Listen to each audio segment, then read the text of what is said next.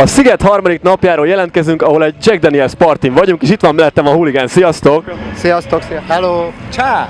Ez egy elég érdekes esemény van itt. Mit is csináltatok pontosan? Én már nem emlékszem, nem emlékszem, de emlékszem, bejöttünk ide a Jack Daniels standjára, és itt játszottunk egy picit, zenégettünk, jól éreztük magunkat.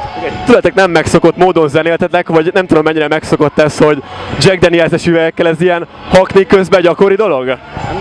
Hát nem gyakori dolog, most ez improvizáció volt. Ez volt az első ilyen fellépésünk. Így még nem játszottunk. Így még nem játszottunk, viszont fogunk szimfonikusokkal játszani december 14-én a kongresszus központban. Milyen gyakran jártok Szigetre? Évente rendszeresen? Tavaly voltunk a cipő emlékkoncertjén, és én azelőtt pedig négy évvel azt hiszem. Hát rendszeresen jártam körülbelül 20 évig.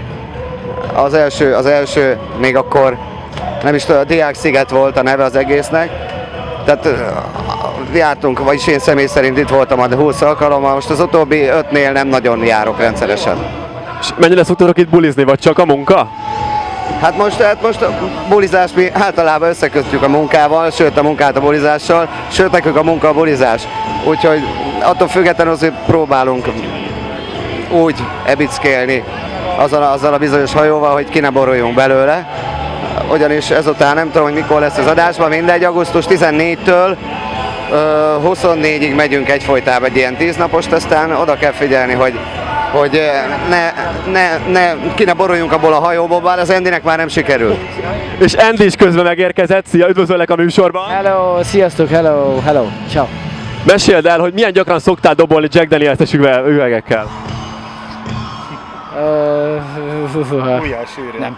Jedes üvegen sajnos, sajnos nem, nem gyakran, de a Jedeniestől viszont arra próbálok vis- viselkedni, vagy próbálok arra vigyázni, hogy nagyon gyakran legyen az, hogy az ember, mivel nagyon szeretjük a mulatást meg a piákat, de közben amikor játszanunk kell, akkor, akkor nem lehet, nem lehet piáson játszani sajnos. De És látom itt graffitiztetek és kipróbáltatok ezt a képzőművészetet, ez pontosan milyen alakzat itt rajtad a tetoválásokon? ez a kör, Igen. ez a... Lefutunk a szigetkör. Ez egy új horrorfilm kezdete. Például. Enzo futott el a szigetkör, te rengetegszer. Igen, én még nem láttam már, vagy annyi ez? Oké. Szóval igen, És menj, amikor egy fiatalok volt, igen, Csipának volt az alkotása. igen ez, ez mi, mi, pontosan, amit látunk Endin? Ez egy kör, benne meg ami embo, em, e, Valami huligán szimbólum? pont elmondtad helyettem, köszönöm szépen. Így szoktunk dárcozni, mi szeretjük a veszélyt. Vagy nem. Andy, igen. És látom, nagyon ügyesen dárcoztatok, gondolom ez nem egy gyakori program nálatok. Egyáltalán nem, ez volt az első ilyen alkalom, amikor ezt kipróbáltuk. Együtt legalábbis mindenféleképpen. Elképzelhető, hogy a dártozás ilyen hakni utáni levezető program lesz? Lehetetlen.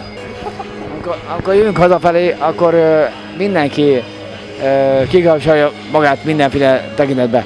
Vagy, vagy ö, bocsánat, ezt mondom, de iszunk közben, berugunk, és beszélgetünk olyan, olyan lelki dolgokról, ami, amit előtte nem tudunk bebeszélni, bocsánat.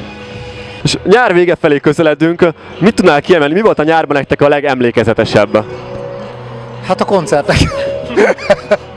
És amikor ki tudnál emelni, volt-e valami jó élményes sztori esetleg?